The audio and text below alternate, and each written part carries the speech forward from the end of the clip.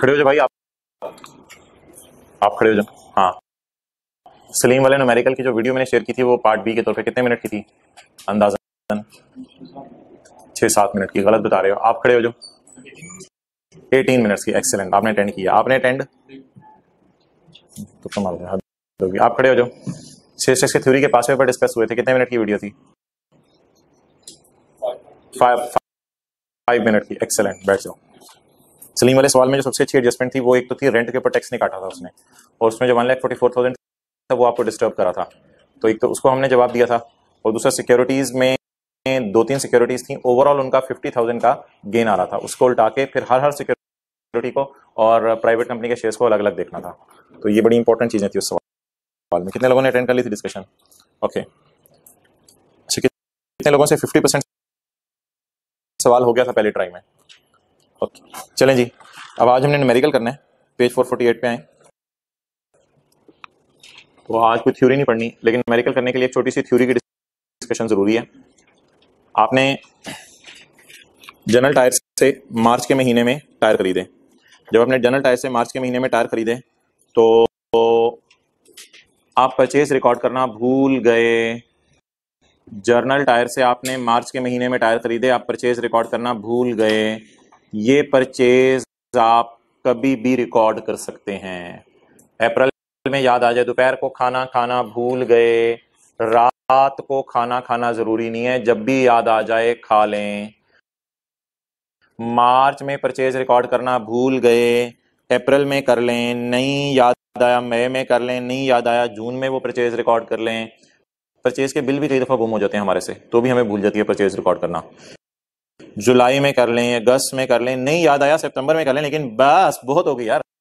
सितंबर के बाद आप रिकॉर्ड नहीं कर सकते। ये नहीं कि सोते हुए खाना खा रहे हो। तो दोपहर को खाना नहीं खाया, रात तक किसी भी टाइम आप खाना खा लें। किसी भी टाइम रात को नहीं खाना, ये कॉन्सेप्ट नहीं है। चार बजे खा लें, पाँच बजे खा लें, छह बजे खा लें। सिमिलरली अगर आपने मार्च के अंदर कोई परचेज की तो सितंबर तक रिकॉर्ड कर लें। वो अगर अगस्त में मिल जाए, बिल अगस्त में रिकॉर्ड कर लें, जून में मिल जाए, जून में रिकॉर्ड कर लें। It is the last month in which नहीं नहीं नहीं इसमें रिकॉर्ड नहीं करनी। इस तक by which he can record the purchase of March लेकिन अगले छह महीने गिनने हैं। मार्च को डाल के नहीं गिना करना। इसलिए अप्रैल मई जून जुलाई अगस्त सितंबर पढ़े। Where are registered person did not deduct input या ये डिडक्ट इनपुट तो आपको पता है, मुश्किल लफ्ज होते हैं। डिडक्ट इनपुट की जगह हम लिख लेते हैं डिड नॉट रिकॉर्ड परचेज ये डिडक्ट इनपुट तो मुश्किल लफ्ज होते हैं। इसकी जगह हम लिख लेते हैं did not record purchase where are registered person did not record purchase within the relevant month, he may he may claim such tax. Claim such tax का मतलब means के record such purchase. टैक्स इसलिए बोले कि purchase पे सत्रह percent लगाएँगे ना। क्लेम सच टैक्स का मतलब लिखे record such purchase he may record such purchase in the six month ना ना ना ना ना ना ना ना in the return of any of the six किसी भी किसी भी घंटे मुझे याद आ गया, मैं खाना खा लूँगा। मेरा क्या पता? Any of the six succeeding tax months तो बता दें जी, मार्च की भूली हुई परचेज अप्रैल में रिकॉर्ड कर सकते हैं? हाँ जून में रिकॉर्ड कर सकते हैं? हाँ अगस्त में रिकॉर्ड कर सकते हैं? हाँ जी, सितंबर में आप रिकॉर्ड कर सकते हैं। जी, मार्च की भूली हुई परचेज अक्टूबर में। अक्टूबर में रिकॉर्ड नहीं हो सकती। ये बहुत ही होगी इसको क्या आप कहते हैं? हाई लेवल ये हाई लेवल हो गया ये यहाँ तक नहीं आपने जाना। क्लियर ओके चलें जी। चैप्टर तेईस में आए। Page number four seventy eight जी, सवाल शुरू करें।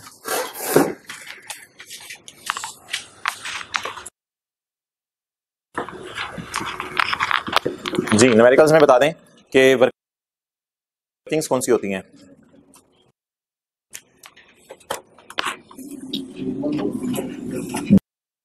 डिविजिबल इनकम किसने बोला है? तो न्यूमेरिकल टैक्स वाला। वर्किंग वन मुझे जरा रिवाइज कराना पड़ेगा, एक न्यूमेरिकल आपको मैंने करवाया हुआ है।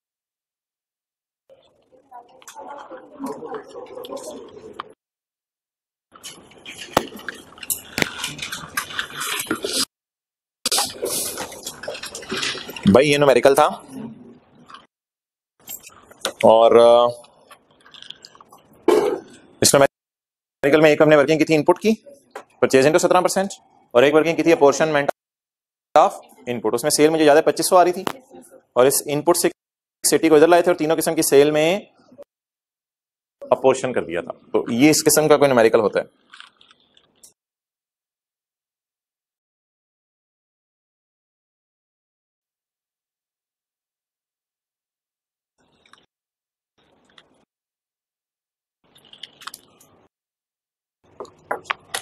जी वर्किंग वन हमारी होगी इनपुट टैक्स लेकिन भाई इनपुट टैक्स ना, या परचेज दो तरह की होती है। एक होती है परचेज मशीनरी की और एक होती है रॉ मटेरियल की। तो आज एक नई बात आपको बताने लगा मशीनरी की परचेज को हम अलग रखेंगे, जिसे आप फिक्स एसेट भी कहते हैं। बल्कि आप अकाउंटिंग की क्लास में भी इसी तरह करते हैं। परचेज ऑफ़ रॉ मटेरियल वगैरह अलग रखते हैं परचेज अकाउंट में और परचेज ऑफ़ मशीनरी वगैरह मशीन अकाउंट में डेबिट करते हैं। तो जिस तरह अकाउंटिंग की क्लास में रॉ मटेरियल की परचेज और फिक्स एसेट की परचेज को अलग रखा जाता है, इसी तरह टैक्स की क्लास में आपने परचेजेस को अलग रखना है। तो एक परचेज के साथ मैं इनपुट टैक्स लिख रहा हूँ और दूसरी जो परचेज होगी, उसके साथ भी मैं इनपुट टैक्स लिखूँगा, लेकिन ये इनपुट टैक्स होगा फिक्स्ड एसेट का, जैसे कि मशीन और इसके अलावा अगर कोई और परचेजेस हुई तो वो इधर आ जाया करेंगे। बहरहाल लास्ट क्लास में सिर्फ़ हमने परचेजेस की बात की थी। इसमें हमने एक नई लाइन डाली purchase of machine okay working two तो आपको याद होगा क्या थी? इसके लिए छह सात लाइनें काफ़ी हैं, इसके लिए दो लाइनें काफ़ी हैं। पोर्शनमेंट ऑफ़ आउटपुट नहीं। वो सवाल किया करें जो मैंने घर में होमवर्क भी दिया था, इसके साथ ही एक सवाल। पोर्शनमेंट ऑफ़ इनपुट उसमें सेल जो है, वो हमारी तीन किस्म की होती है। टैक्सेबल ज़ीरो रेट और एग्ज़ाम सेल सरासे को गाड़ी बेची। राना टोंगा को श्रीलंका में गाड़ी एक्सपोर्ट कर दी। कुछ दस दस लाख वाली गाड़ियाँ होंडा बना के बेच रही हुकूमत ने कहा, चलो, इस पर टैक्स आम नहीं लगाते। ये आ गई हमारी सेल ये इनपुट है, ये टोंगा को श्रीलंका में गाड़ी एक्सपोर्ट कर दी। कुछ दस दस लाख वाली गाड़ियाँ होंडा बना के बेच रही हुकूमत ने कहा, चलो इस पर टैक्स आम नहीं लगाते। ये आ गई हमारी सेल ये इनपुट है, ये इनपुट है। वो जो इनपुट अदर्स वाला है, यानी रॉ मटेरियल वाला, वो भी देखेंगे कितना रॉ मटेरियल किस किस गाड़ी में इस्तेमाल हुआ। और फिर इसी तरह देखेंगे मशीन कितनी इस्तेमाल हुई किस किस गाड़ी के बनाने में? तो ये हमने की थी। अब मैंने आज सवाल के अंदर दो लाइनें नहीं डाल दी हैं। एक ये लाइन नहीं डाली है और फिर एज इट इज़ इसको मैं यहाँ भी ले आया हूँ। वरना लास्ट क्लास में ये दो कॉलम थे सिर्फ़। और इधर एक ही लाइन थी बस। तो मशीन जरा आज एक नई चीज़ आई है, इसको जरा अलग अलग रखना है। ओके इसके बाद यार, आज एक नई वर्किंग इंट्रोड्यूस कर रहे हैं हम। डेट इज़ वर्किंग थ्री उसमें कुछ भी नहीं है। टैक्सेबल सेल ना सवालों में जरा ज़्यादा दी होती हैं। तो इसलिए टैक्सेबल सेल के लिए वर्किंग कर लेना बेहतर है। ये मेन वर्किंग नहीं है। ज़रूरत पड़े कर लें पेपर में ना ज़रूरत पड़े, ना करें। लेकिन ये वर्किंग कर लेना बेहतर है। वर्किंग थ्री टैक्सेबल सेल और आपको पता है टैक्सेबल सेल आगे दो किस्म की हैं। बताएँ। हाँ एक्सेलेंट रजिस्टर्ड और इधर नहीं लिखना आपने, ये तो मैं आपको समझाने के लिए लिख रहा हूँ। टैक्सेबल सेल दो किस्म की है। रजिस्टर्ड और अनरजिस्टर्ड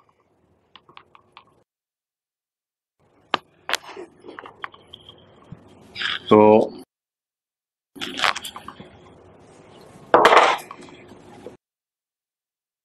रजिस्टर्ड वाली सेल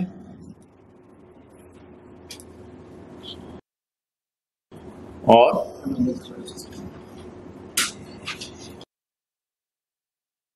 चलें जी, अब सवाल पढ़ना शुरू करते हैं, यहाँ तक आप नोट कर लें। फॉर्मेट बन गया।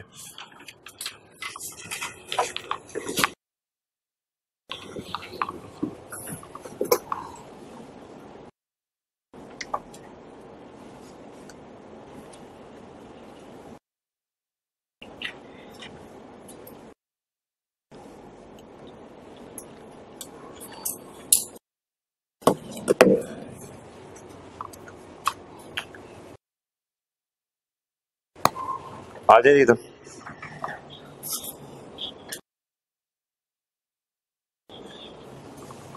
mister Azhar has provide you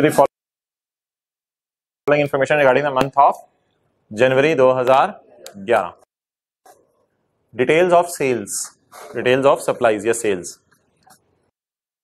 local taxable sale to registered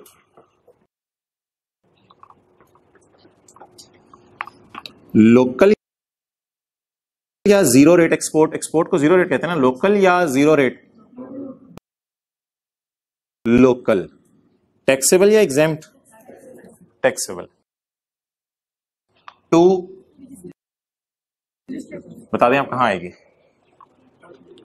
clear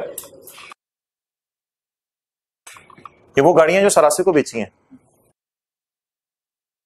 local taxable गाड़ियाँ जो कि किनको बेची? रजिस्टर्ड डॉलेंस को बेची, होंडा ने डॉलेंस को बेची, ऐसे समझ लें। टू रजिस्टर्ड पर्सन, सत्रह परसेंट वाली या सत्रह जमा तीन? सत्रह परसेंट वाली।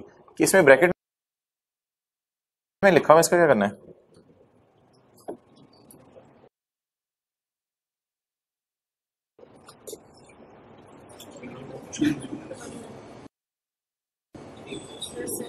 बताएँ बताएँ बताएँ। इसमें एक एडवांस पड़ा हुआ है। कितने का? इधर ऊपर देखना पड़ेगा आपको। इसमें एडवांस पड़ा हुआ है तीस हज़ार का। अगर ये एडवांस ना पड़ा होता तो ये two seven two zero triple zero होता लेकिन एडवांस इसमें तीस हज़ार का पड़ा हुआ है। बता दें जी एडवांस को क्या करें? एडवांस का मतलब पता क्या होता है? पैसे आ गए हैं अभी सिर्फ़। लेकिन अभी चीज़ें डिलीवर नहीं हुई। अब अगर आप गौर से सोचें तो two seven two zero triple zero की चीज़ें डिलीवर हो गई हैं और थर्टी थाउज़ेंड की चीज़ें डिलीवर सिर्फ़ पैसे आए हैं। थर्टी थाउज़ेंड के पैसे आए हैं और टू सेवन टू ज़ीरो की चीज़ें डिलीवर हो गई अब टाइम ऑफ़ सप्लाई में पड़ा था। अच्छा ये पैसे जो आ गए थर्टी थाउज़ेंड के तो जनवरी में तो पैसे आ गए हैं। एडवांस जनवरी में आ गया तो ये डिलीवर कब होगी? फरवरी, मार्च के अंदर। तो हमने क्या पढ़ा था? टाइम ऑफ़ सप्लाई के डेफिनेशन में। Time of supply is the earlier of in the cash is received from the goods are क्या मैं कह सकता हूँ इस तीस हज़ार के बारे में, इसके बारे में कि पैसे आ गए हैं एडवांस में, चीज़ें अगले महीनों में डिलीवर होंगी। क्या मैं कह सकता हूँ अगर ये सेल में पड़ा है तो पड़ा रहने दें। क्यों पड़ा रहने दें? क्योंकि टाइम ऑफ़ सप्लाई की डेफिनेशन कहती है कि एडवांस पे भी टैक्स लगेगा। तो इसलिए तीस हज़ार पंडल करके लिखें। सेल में पड़ा रहने दें, क्योंकि टाइम ऑफ़ सप्लाई की डेफिनेशन कहती है। एडवांस पे भी टैक्स लगता है।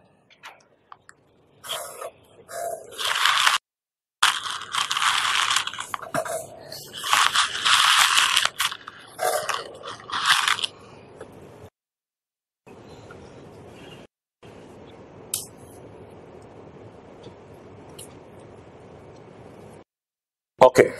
चले जी लिखें सेल कितनी है? Two seven? Rupees in thousand में कर लेते हैं सवाल। Two seven five zero. Sale.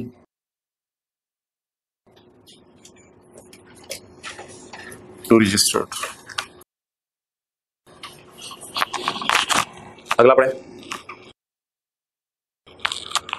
Local taxable sale to बुरे बच्चे ये लोग आए होंगे हमने इनसे कहा होगा अपना रजिस्टर नंबर दो इन्होंने कहा होगा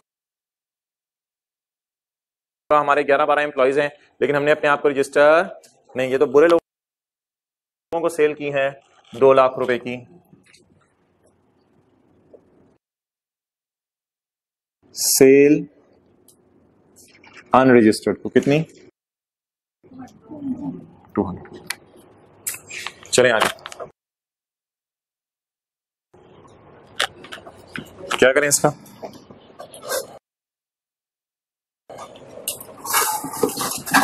तीसरा पॉइंट क्या करें इसका?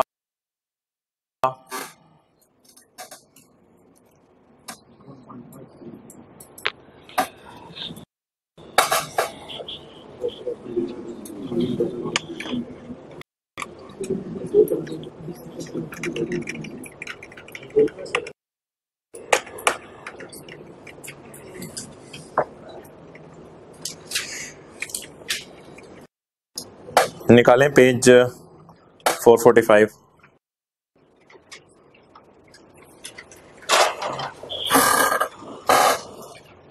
सफे का and for supplies specified in third schedule tax L B charge at the 15 percent on retail price 17 percent at percent on आगे लिखे not discounted price discounted price नहीं।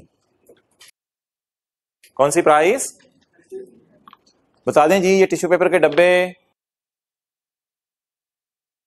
कोई दुकानदार अगर मुझे सस्ते बेच दे, उसकी अपनी मर्ज़ी है, हुकूमत टैक्स किस पे मांगेगी? अब जरा आगे नज़र मारे। और एक मिनट एक मिनट, अगले सफे पे आए। और आपको ये बताया भी था, अगला सफ़ा भी मेरा खुल नहीं रहा, अगले सफे पे आए, अगले सफे पे आके देखें, दो डब्बे बने हुए हैं, डब्बा बना हुआ है।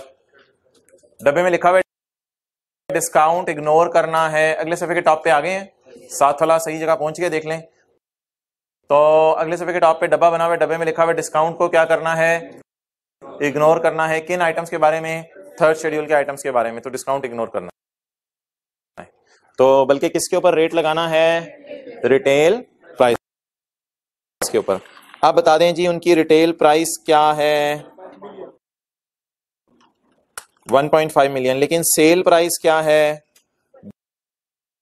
12 लाख। तो 12 लाख इज़ लिख लें डिस्काउंटेड प्राइस है, लेकिन हमें डिस्काउंट इग्नोर करना है। तो रिटेल प्राइस इज़ 15 लाख। हमने उससे 12 लाख लिए हैं, पता नहीं क्यों। रिटेल प्राइस उनकी कितनी है जी? 15 lakh.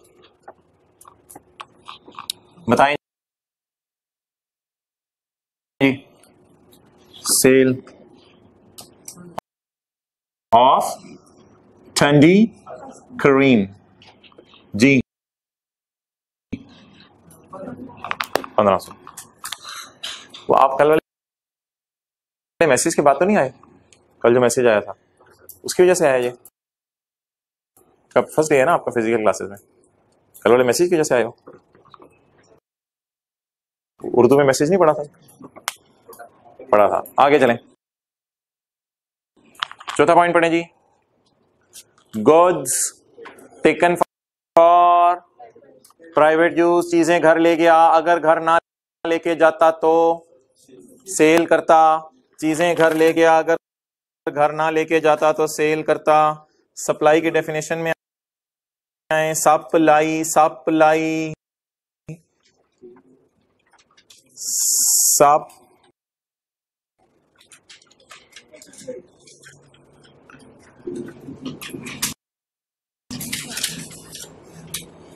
Page 438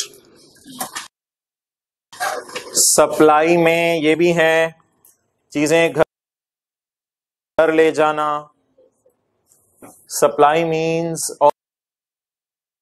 also include putting to private use तो इसको सोचना, याद रखना पेपर में इस तरह कि अगर ये चीज़ें बंदा घर में लेके जाता तो बेचता, इसलिए ये इसकी क्या बन जाएगी? सेल या सप्लाई बन जाएगी। इसको आप इंट्रो की क्लास में तो ड्राइंग कहते थे, लेकिन ये हमारे अंदर ड्राइंग नहीं होगी। अगर ड्रॉ ना करता तो क्या करता? बेचता। प्राइवेट यूज़ जी, बोले।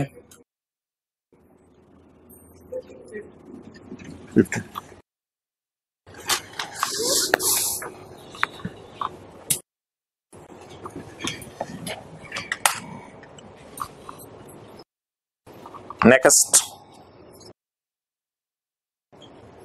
जी भाई, ज़िंदगी बचाने वाला नशा। एग्ज़ाम टू गुड्स है ना यार, इसको छोड़ो हमें क्या इससे ज़िंदगी तो अल्लाह के हाथ में है, इन ड्रग्स के हाथ में कहा है? बहरहाल लोगों का नाम रख दिया है, मुझे इसलिए, मुझे यहाँ लिखना पड़ा। तो लाइफ सेविंग ड्रग्स तो ये कौन सी गुड्स हैं? सवाल वाला खुद कह रहा है एग्ज़ाम है तो फिर हमें सोचने की ज़रूरत नहीं, और हमें ये भी नहीं कहने की ज़रूरत, सर, आपने क्लास में बताया नहीं था, ये एग्ज़ाम होती है। वही सवाल वाले को भी पता है कि किताब में नहीं लिखी हुई, इसलिए आगे उसने लिख दिया, ये क्या है? एग्ज़ाम है। और ये राना टुंगा को गाड़ी बेची। एक्सपोर्ट सेल क्लियर अच्छा एग्ज़ाम सेल बता दें कितनी? एग्ज़ाम जहाँ नहीं है, अब टैक्सेबल नहीं है। एग्ज़ाम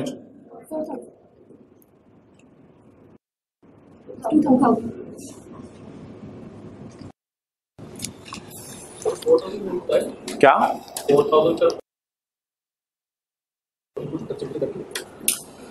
ये जो चीज़ें एग्ज़ाम हैं कोई भी हमारी मिसाल के तौर पे कोई गाड़ियाँ हम बना के बेच रहे हैं हुकूमत के टैक्स नहीं लगना तो उन उन, उन पे टायर लगा के बेचे होंगे? उन पे टायर लगाए होंगे टायर लगा के दिए होंगे? मशीन से गुजारा होगा उनको? गुजारा होगा कि नहीं? फिर एंड पे अपोर्शन करके फिर डेड करना है, वो मुझे याद है। अपोर्शन तो करने दे। ओके चलें जी, आगे पढ़ें। अदर इंफॉर्मेशन से पहले, इधर आ जाए point four point four point four है यार debit and credit note issued तो यार ये जो debit and credit note issued है ना तो आपको इसकी परेशानी होने की ज़रूरत नहीं कि डेबिट नोट क्या है क्रेडिट नोट क्या है, ये आपको परेशान होने की ज़रूरत नहीं। आपने ना डेबिट क्रेडिट नोट मैंने आने वाले दिनों में आपको पढ़ाने हैं। फ़िलहाल ये फ़िक्र इंग्लिश का पढ़ के बता दें कि सेल रिटर्न है या परचेज रिटर्न है?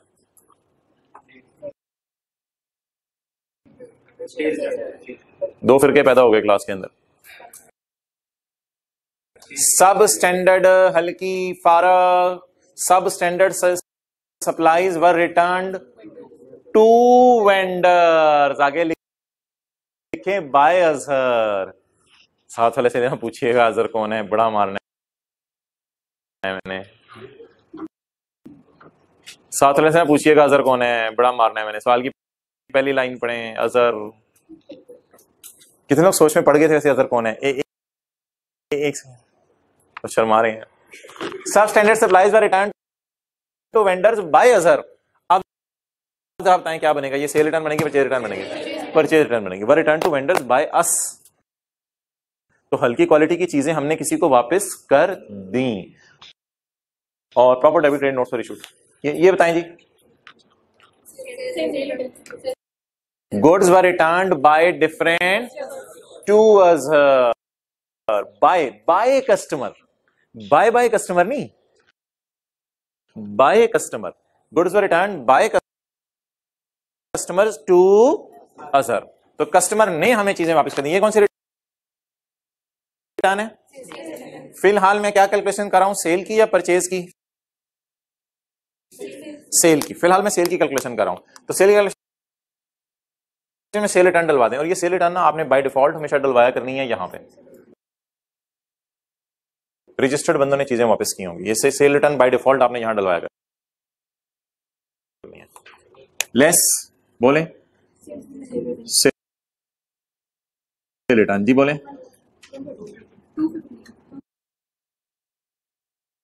टू फिफ्टी क्लियर चलिए जी तो तैयार करवा दें।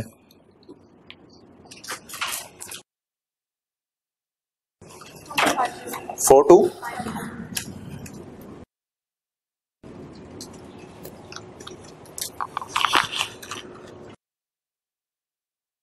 नोट कर लो भाई आप भी।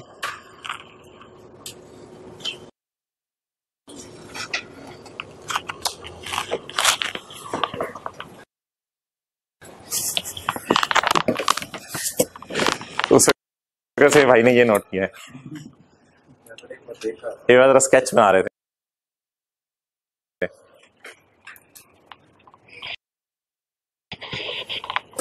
सलीम वाला न्यूमेरिकल की डिस्कशन अटेंड की थी कल?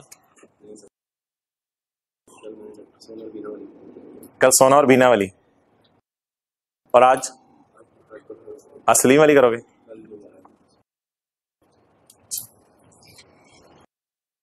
नहीं, आज कोई नहीं, मैंने अपलोड करनी बहुत हो गया बस। मेरी भी घर वाले कहते हैं, बात कर दो। इधर भी आगे बढ़ाती रहते हो। पहले कमरा ढूंढना पड़ता है। कहाँ पे आवाज़ें नहीं आ रही? है आ रही ना, थोड़ी सी आ रही है ना? कल आ रही थी। कल कल तो नहीं आ रही होंगी, पिछली में आ रही होंगी। ओके अच्छा जी। तो सब स्टैंडर्ड सप्लाईज और रिटर्न टू वेंडर्स एक लाख चालीस हज़ार और दो लाख पचास हज़ार। तो इस फ़िलहाल हम दो लाख पचास हज़ार को लेते हैं परचेज रिटर्न को छोड़ें। परचेज रिटर्न को छोड़ें। अच्छा जी, आगे मूव करें। सेल बता दें टोटल आपकी कितनी बनी वो उसको ले आए ना इधर। हिम्मत करने दो तीन लोग उसको उठा के लाएँ। फोर टू फाइव ज़ीरो अब आपकी सेल बता दें कितनी बन गई? One zero two five zero चलें जी सेल वाली साइड फारिग हो गई। अब परचेज वाली साइड पे हाथ फेरना है। बकरा जिबा हो गया, अब मुर्गी की तरफ़ आ जाए। अब मुर्गी पे हाथ साफ़ करें।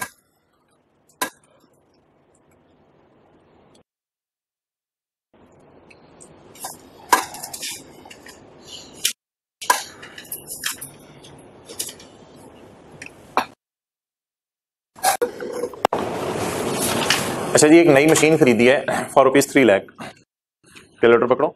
Initial allowance three lakh into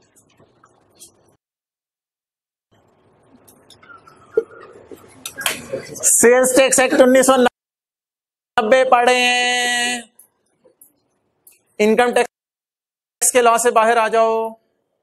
यहाँ कोई तस्वुर नहीं है डेप्रिसिएशन का इनिशियल लाउंस का। यहाँ परचेज पे सत्रह लगता है। यहाँ परचेज पे सत्रह लगता है, बस। A new machine purchased for rupees 3 lakh was commissioned into operation during January. अच्छा ये लाइन एक लिखी हुई है all the above figures are uh, where applicable are exclusive of यानी सारी फिगर्स सौ पे पड़ी हुई हैं तो ये तीन लाख सौ पे पड़ा हुआ है इसी तरह बाकी सारी फिगर्स भी किस पे पड़ी हुई हैं सौ पे पड़ी हुई हैं अच्छा अब बता दो यार ये हमारी परचेज वाली साइड आ गई है या सेल वाली साइड ये भी चल रही है परचेज वाली। और मैंने कहा था परचेज मशीन आपने अलग रखनी है। लेकिन एक बात याद रख लें यार वर्किंग वन के लिए ना वर्किंग थ्री के लिए नहीं वर्किंग वन के लिए, आपने सात सात सत्रह परसेंट लगाते रहने ताकि आपको भूल ना जाए। आपने सात सात सत्रह परसेंट लगाते रहने तो इनपुट टैक्स मशीन का हो या रॉ मटेरियल वगैरह का हो। आपने सात सात सत्रह परसेंट लगाते रहने तो मशीन की परचेज बताएँ जी कितनी है? Three hundred into seventeen percent कितना आ गया? फिफ्टी वन और उस क्लास में भी हमने परचेज पे सात सात ही, सत्रह लगा दिया था।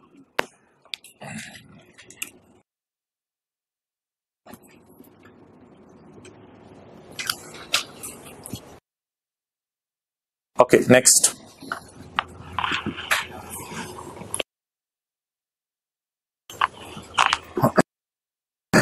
Purchase of raw material from unregistered suppliers amounted to 1800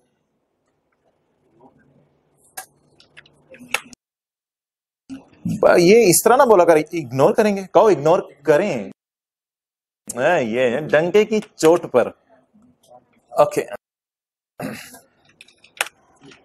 ये देखे ना भाई, ये जो हमने न्यूमेरिकल किया था मशहूर जमाना, इसकी फिगर्स भी ऑलमोस्ट हमें याद हो गई हैं। पेज 465 पे। परचेज फ्रॉम अनरजिस्टर्ड इसमें मैंने क्या बात की थी? हाँ ये ऐसे बच्चे चाहिए बाकी जाए। मैं कहता पहले पंद्रह मिनट होंगे बच्चे पेपर पढ़े होंगे आपने सेल्स सेक्शन मेडिकल ढूंढ के काटना परचेज फ्रॉम अनरजिस्टर्ड ये हैवी सीन है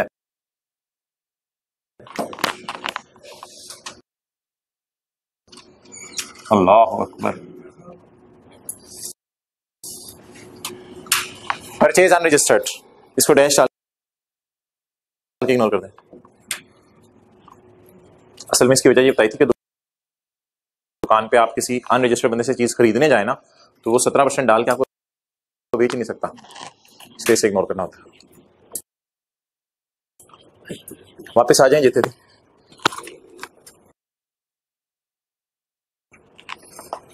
आगे बढ़े। Purchase of raw material purchase of flexible raw material सत्रह परसेंट लगेगा। From registered supplier amounted to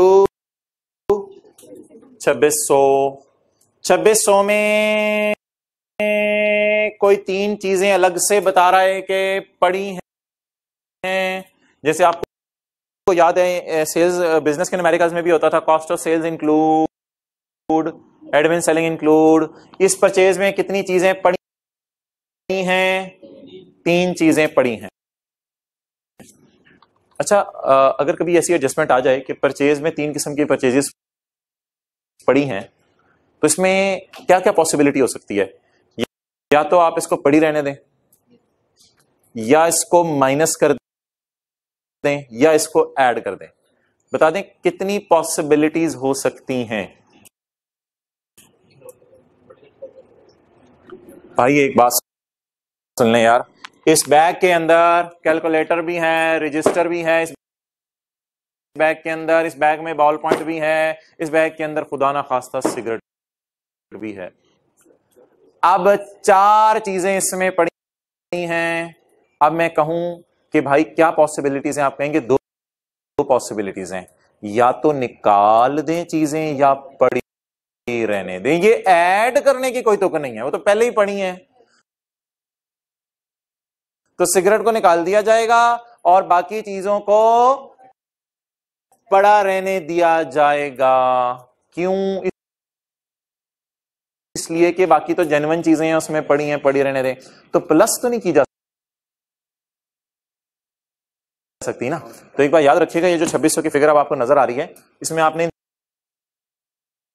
तीनों में से कोई फिगर खुदा के लिए प्लस ना कर दीजिएगा। खुदा के लिए कोई फिगर प्लस ना कर दीजिएगा पेपर में। वरना बड़ा भयानक होता है। छह महीने नज़र आएँगे आपको ऐसा। ख्वाब में फिर। तो इसलिए इन तीनों में से किसी फिगर को आपने प्लस नहीं कर देना छब्बीस में। हो ही नहीं सकती ना प्लस वो तो ऑलरेडी इंक्लूड है। दो पॉसिबिलिटीज हैं जी, क्या करना है? या तो पढ़ा रहने दें इग्नोर कर दें, या पढ़ा रहने दें, या इग्नोर कर दें, कौन बोले ओ यार, खुदा का खौफ करो, ये एक ही बात है। या पढ़ा रहने दें, या इग्नोर कर दें, एक ही बात है। या तो इग्नोर कर दें, या लेस कर दें। तो कोई फिगर किसी में पड़ी है या तो लेस कर दें या इसको इग्नोर कर दें। ये दो पॉसिबिलिटीज हैं। अब आप लिख लें तीनों में से किसको लेस करना है किसको इग्नोर करना है।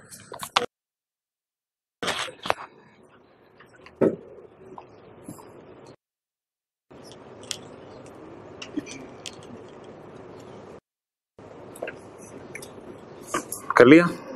अच्छा यहाँ से मैं स्टार्ट करता हूँ तीसरे नंबर वाले पॉइंट से। यार परचेजेस हैं 2600 उस 2600 में ये जो तीन हज़ार है ना, तीन हज़ार, ये दो नंबर बिल पड़ा है।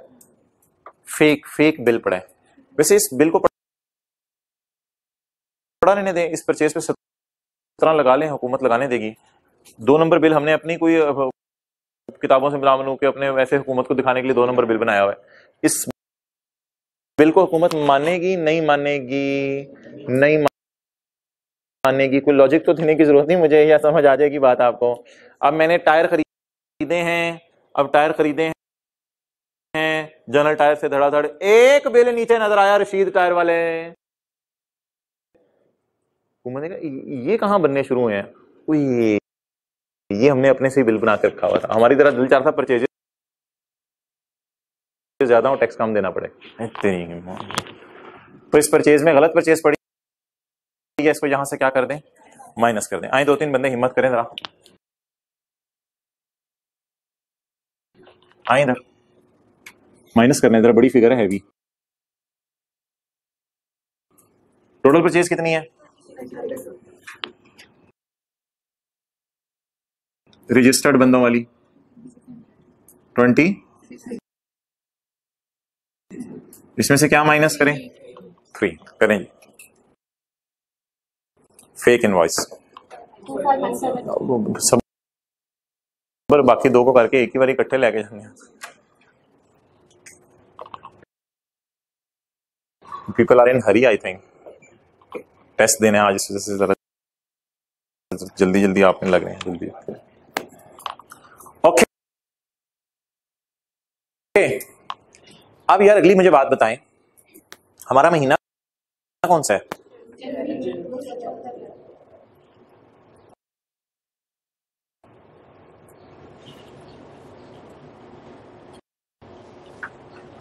और इसमें दो बिल पड़े हैं।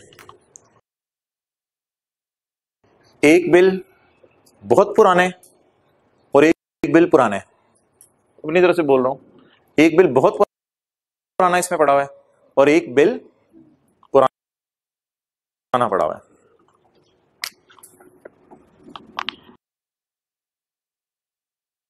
जी हमारा कौन सा महीने? जनवरी 2011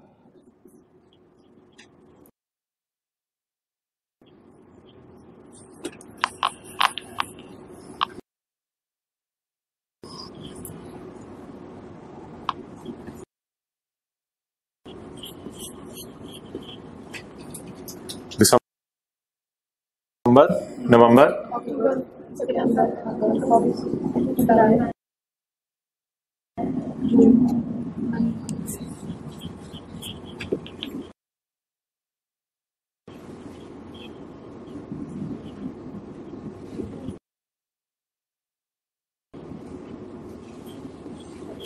मार्च।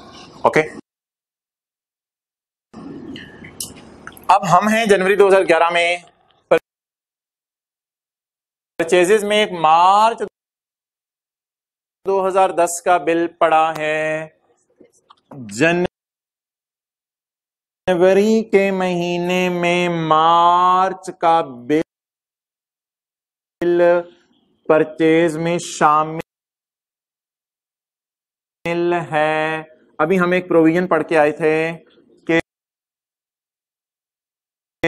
परचेज अगले छह महीने में रिकॉर्ड हो सकती है अगर भूल जाए। क्या मार्च का भूला हुआ बिल? सुबह का भूला हुआ शाम को घर आ जाए तो उसको भूला नहीं कहते।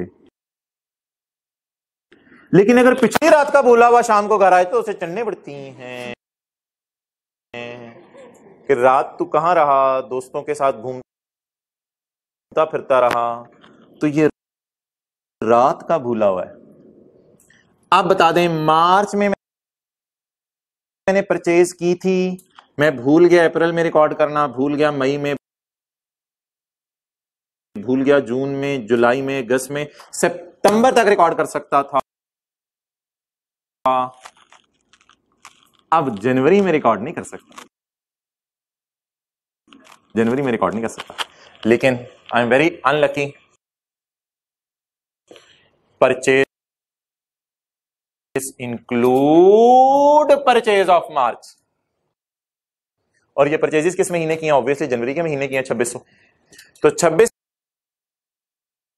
सौ की परचेज में किस महीने की परचेज पड़ी है? मार्च की। इसे क्या कर दें? लेस कर दें। कितने से?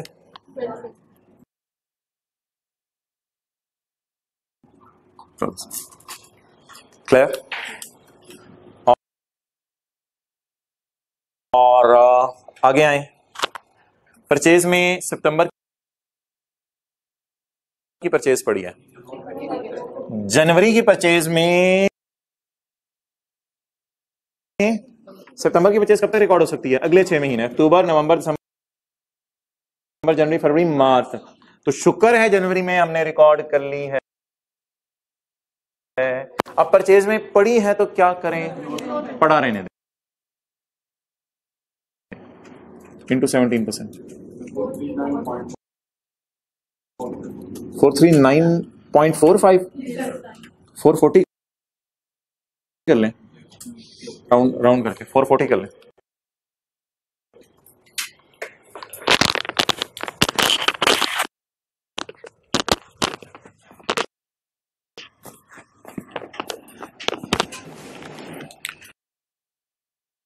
अच्छा तो भाई, हम इसको कह सकते हैं, जो पहले बुलेट वाली परचेज है ना? इसको हम कह देते हैं, बहुत पुरानी।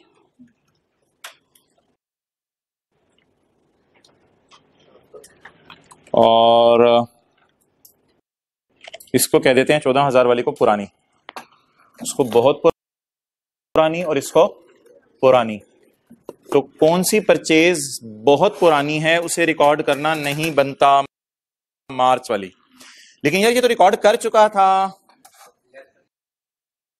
तो मार्च वाली परचेज कब तक रिकॉर्ड हो सकती है? अप्रैल, मई, जून, जुलाई, अगस्त, सितंबर तक। सितंबर 2010 तक रिकॉर्ड हो सकती थी, लेकिन उसने मार्च 11 में रिकॉर्ड कर ली है। जनवरी 11 में। इसलिए उसे क्या कर दें? माइनस कर दें। और सितंबर 2010 वाली, अक्टूबर, नवंबर, दिसंबर, जनवरी 2011 में रिकॉर्ड हो सकती थी। और उसने कर ली है रिकॉर्ड तो इसलिए इसको क्या करें? पढ़ा लें। ओके अच्छा इसमें अगर एक दो ऐसे मार्क्स लेने के लिए आपने बात करनी हो ना, वो आप करके आ सकते हैं। परचेज फेक इनवॉइस ये हमने रिकॉर्ड नहीं करनी होती, इसलिए हमने माइनस किया ऐसा ही है ना? तो इसको जरा मार्क्स लेने के लिए अगर एक दो लाइन आप डाल दें तो बेहतर है। परचेज फेक इन वॉइस हमने रिकॉर्ड नहीं करनी होती, इसलिए हमने डैश डाल के शो कर दें एक दफ़ा। और वो जो परचेज मार्च वाली थी, बहुत पुरानी वाली। बहुत पुरानी वाली। इसको भी हमने रिकॉर्ड इस साल, इस महीने नहीं करना था। इसलिए डैश डाल की तरह शो करते हैं जैसे वो उधर बिज़नेस के अमेरिकल्स में नहीं करते थे शो डैश डाल के, उस तरह का करते हैं जरा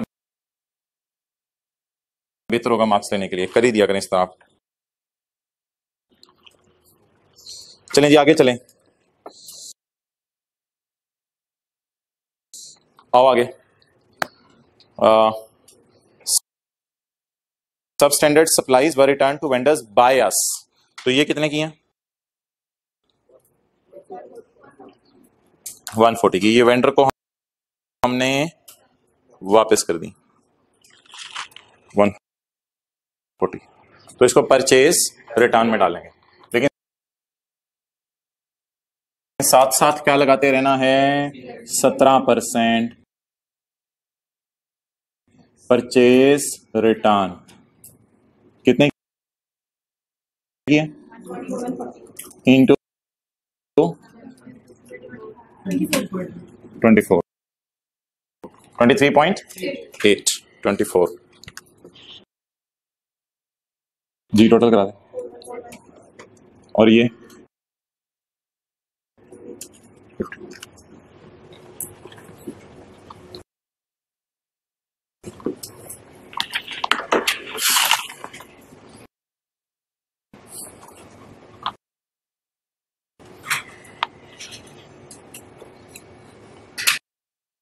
इधर लाओ। पॉइंट फाइव अभी छोड़ दें। बाकी सवाल जरा मैं कर लूँ। पॉइंट फाइव अभी छोड़ दें। अच्छा अब आप मुझे ये बता दें कि हमने गाड़ियाँ पाकिस्तान में भी बेची, बाहर के मुल्क में भी बेची और कुछ गाड़ियाँ एग्जेम्प्ट सेल भी की। इन सारी गाड़ियों को बनाने में मशीन इस्तेमाल हुई होगी? ऐसी बात है।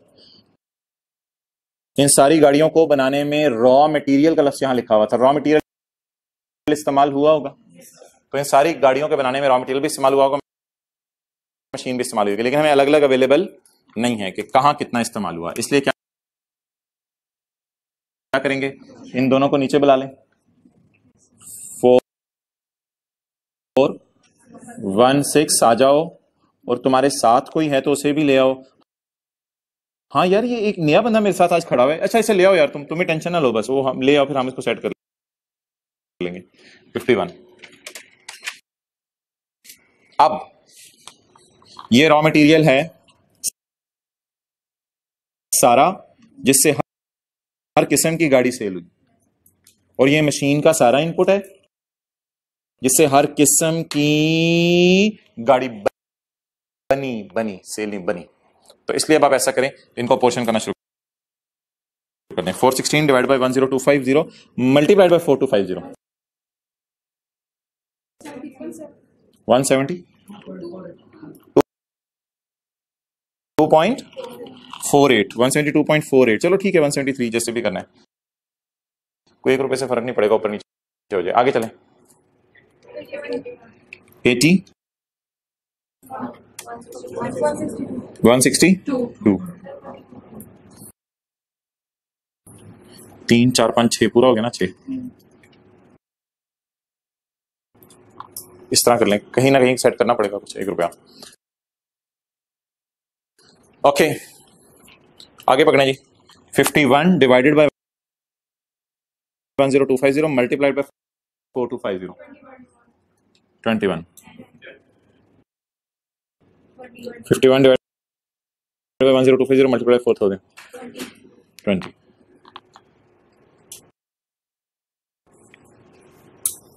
okay अब इसका करना क्या है? ये तरह जाके पुराने न्यूमेरिकल में रिवाइज कराते हैं।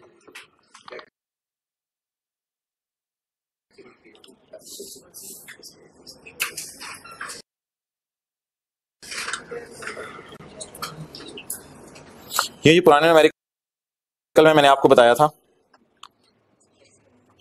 टैक्सेबल सेल को फेस पे ले जाना है। आगे इसमें इनपुट का एक कॉलम डाला था, दो नहीं डाले थे। और इसका इनपुट भी फेस पे लेके जाके माइनस करना है। ज़ीरो रेट सेल को नहीं लेके जाना, क्योंकि सेल पे ज़ीरो लगाएँगे, फ़ायदा कोई नहीं होगा। एग्जेम्प्ट सेल को नहीं फेस पे लेके जाना, क्योंकि एग्जेम्प्ट सेल एग्जेम्प्ट है तो इस पर टैक्स नहीं निकालना। एग्जेम्प्ट सेल का इनपुट मैंने बताया था डेड होगा। और ज़ीरो रेट सेल का इनपुट आपको रिफंड मिलेगा। ये सारी बात आपसे हुई थी। तो वो सारी बातें इधर लिख लेते हैं। फिर आगे मूव करते हैं। ये लिखनी पेपर में नहीं होंगी, लेकिन आपके समझाने के लिए लिख रहा हूँ। जी। ये जो 81 और 162 इसमें मैं बहस करने से पहले इधर आए सेल की तरफ़। इस सेल पे ज़ीरो लगाना है, इसलिए इसका कोई फ़ायदा नहीं। फेस पे लेके जाने की ज़रूरत नहीं। इस सेल पे टैक्स नहीं देना, इसलिए इसका कोई फ़ायदा नहीं। और मैंने कहा था, ये वाला जो इनपुट है, ये आपका हुआ करेगा, ये 162 भी डेड और ये 20 भी डेड अब ये सारी चीज़ें फेस पे नहीं जानी। ये जो है 81 ये हुकूमत आपको करेगी रिफंड बल्कि ये 81 प्लस टेन टोटल करके रिफंड हो जाएगा। क्योंकि हुकूमत आपसे खुश होगी, आप चीज़ें एक्सपोर्ट कर रहे हैं। और इसकी वजह क्या बताई थी? कि 2000 पे ज़ीरो परसेंट लगाए तो ज़ीरो आएगा तो ज़ीरो आउटपुट आ जाएगा। ज़ीरो में से तीन न्यूमेरिकल सॉल्व किए थे पहली क्लास में अलग अलग करके, समझाने के लिए। तो 2000 हज़ार इंटू ज़ीरो परसेंट ज़ीरो आ जाएगा zero minus eighty one minus ten is equal to refund तो ऐसा करें, फ़िलहाल इन तीन फिगर्स को छोड़ें और नोमेरिकल के फेस पे आए और नोमेरिकल की चिन्ह पे। बिल्कुल थोड़ी के, यहाँ पे आके। आप ये वाला 81 और 10 लिख दें।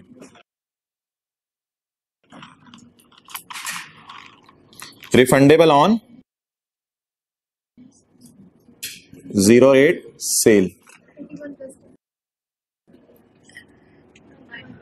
ninety one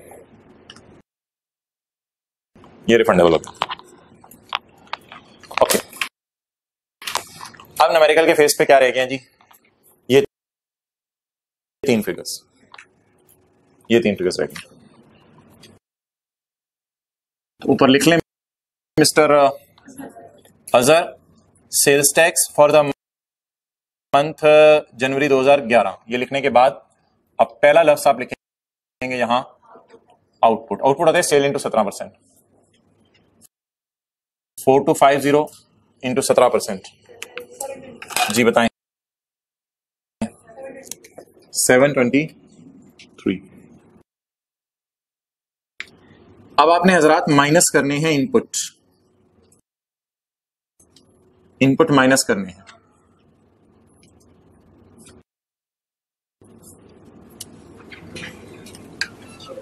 इसमें हमने एक एक्चुअल और 90 परसेंट वाली बात पढ़ी थी। तो वो बात जरा मैं आपको बता दूँ, वो मशीन के लिए नहीं है। मशीन का इनपुट आप सारा माइनस कर सकते हैं। वो बात सिर्फ़ मशीन के अलावा वाली परचेजेस के लिए है। तो ये बात सर आपको एक जगह मैं पढ़ा दूँ। आप निकालें।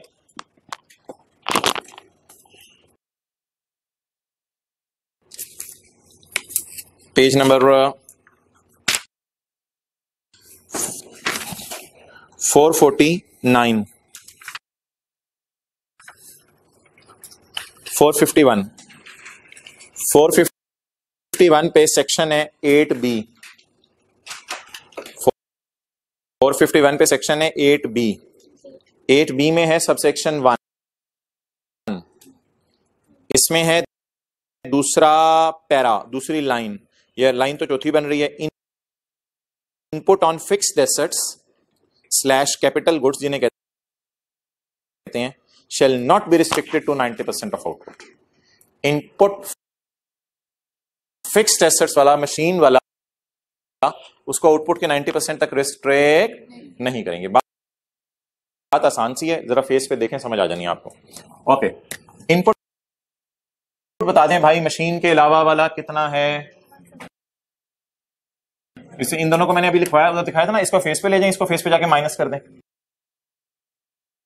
तो 173 और 21 तो इनपुट बता दें जी एक्चुअल कितना है?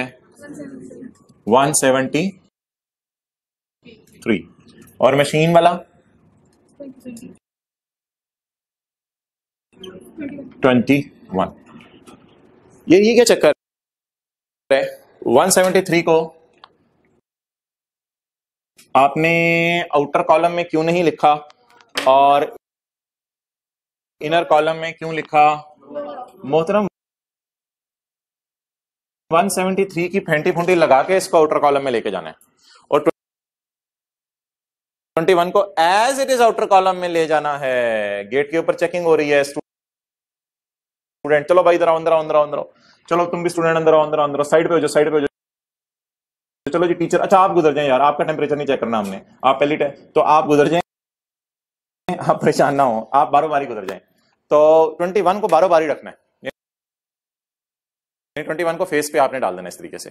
पीछे क्या रह गया? 173 अब आप हजरात देख लें।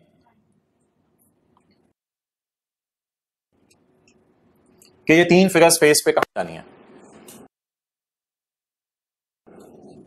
Four two five zero, one seventy three और ट्वेंटी वन। और देखते रहे।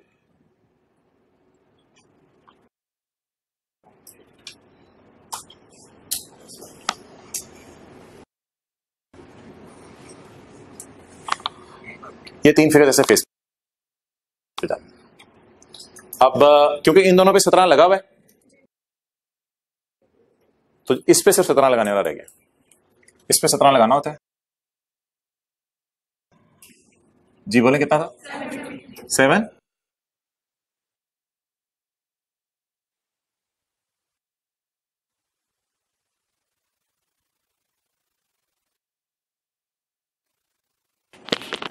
अच्छा आ, तो भाई आवाज़ आनी बंद हो गई थी सेल इंटू सत्रह परसेंट सेवन ट्वेंटी थ्री ये एक्चुअल वाला इनपुट है और ये मशीन वाला है। इन दोनों पे सत्रह लगा होता है सेल पे सत्रह में लगाना पड़ता है। अच्छा मेरा आपसे अगला ये सवाल है आप हजरात तशरीफ़ अगर ले ही आए हैं तो मुझे बता दें कि ये कौन सा महीना है न्यूमेरिकल का? जनवरी। ये कौन सा महीना है? क्या आपको पता है कि पिछले महीने एक 90 परसेंट की रिस्ट्रिक्शन वाली कैलकुलेशन परफॉर्म हुई होगी? हम्म, चलिए मैं आपको फिर रिवाइज करवा देता हूँ। रिवाइज हुई तो होगी हुई होगी पिछले महीने। लेकिन हमें सवाल में दिया नहीं हो ना असल में कि क्या हुआ है लेकिन उसका समरी दी हुई है वो मैं बताता हूँ। पहले ऐसा करें पेज 465 वाला जरा रूल रिवाइज करें। पेज 465 पे जो आपको पढ़ाया था, वो रिवाइज करें।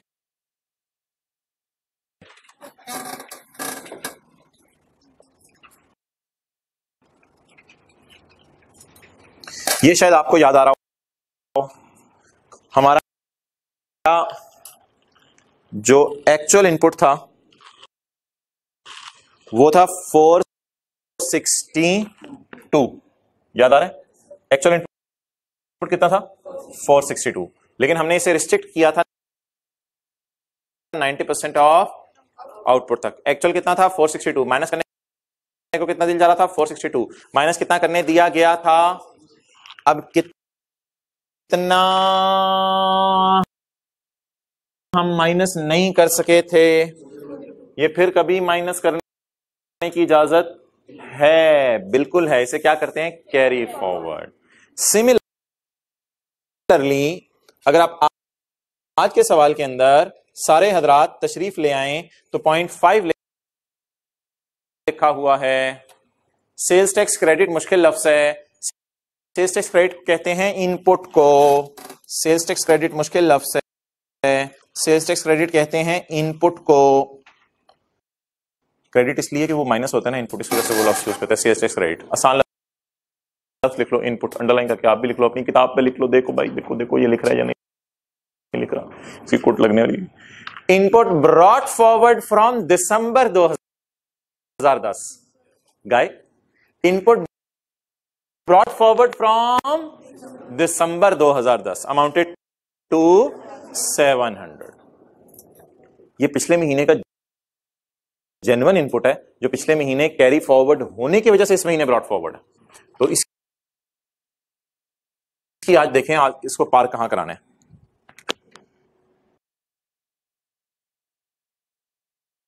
इसको आज देखें कहाँ पार कराना है।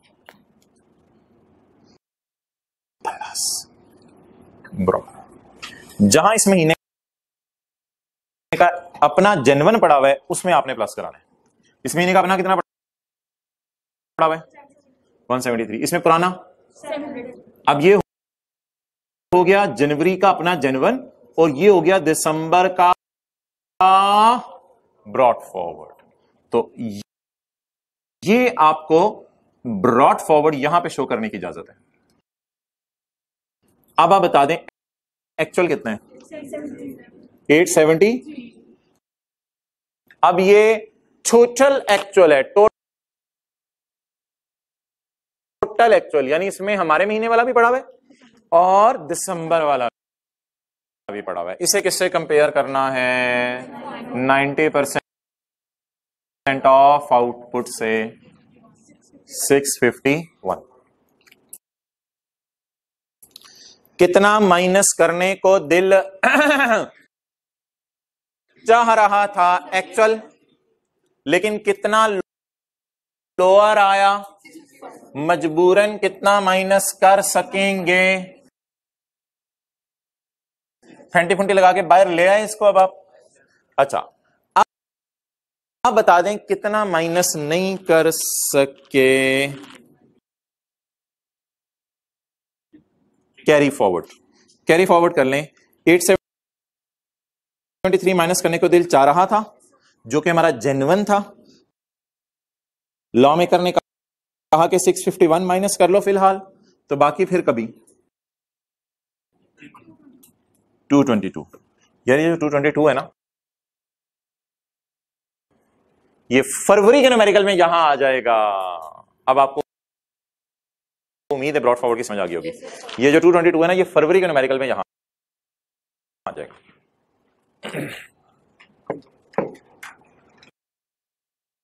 लास्ट क्लास में हमने ब्रॉड फॉरवर्ड ऐड नहीं किया था क्योंकि कोई था ही नहीं। इस क्लास में हमने ऐड किया। चलें जी, ये सब टोटल साथ साथ करवानी है, सब टोटल भी करवानी है। मैं ले लेता हूँ seventy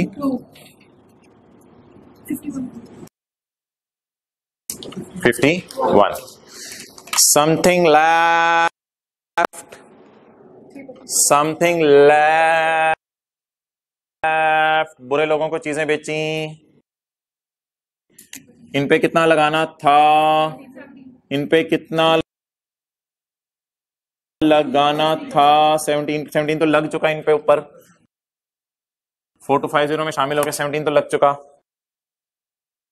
इन पे कितना फर्दर लगाएँ? Three percent. Add three percent further tax. On sale to unregistered. Three percent hundred six तेरी गाड़ी लेट हो गई हम तो पहुँच चुके tax payable to government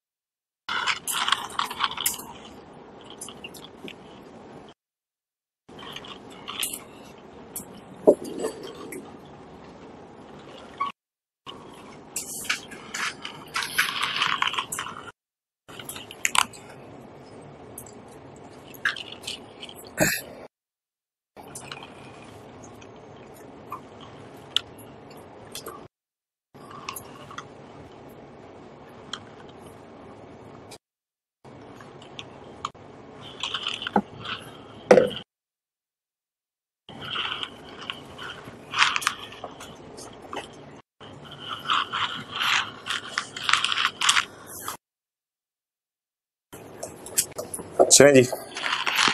revise करवाएँ न्यूमेरिकल का फेस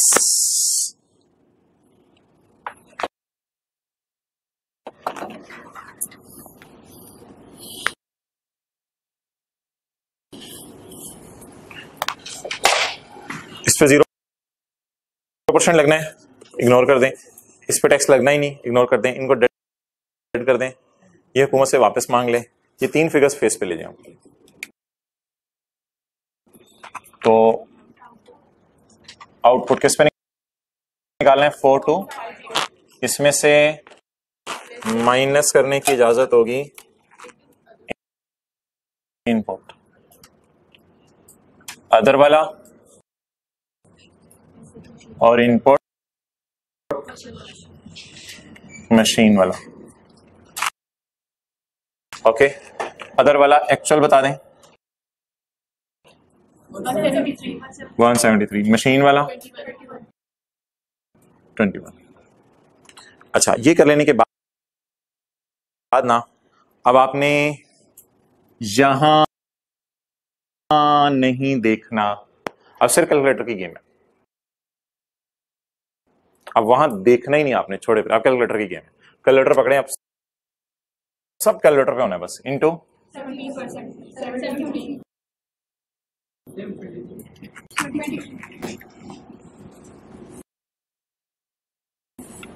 सवाल पे जाना पड़ेगा मजबूरन। Plus brought forward eight seventy three कहीं नहीं देखना, इधर ही सब कुछ अवेलेबल है। कहीं नहीं देखना, इनमें दोनों में से।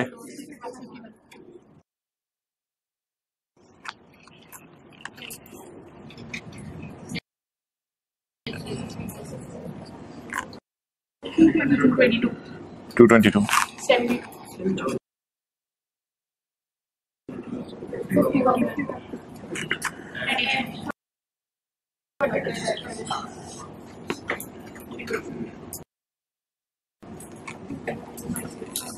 6.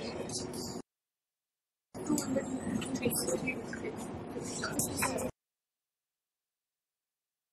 Just so.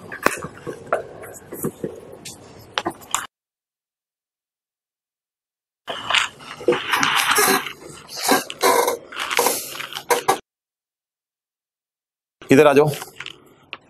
क्या पसंद करेंगे? चैप्टर 19 चैप्टर 25 चैप्टर 25 में आ जाए।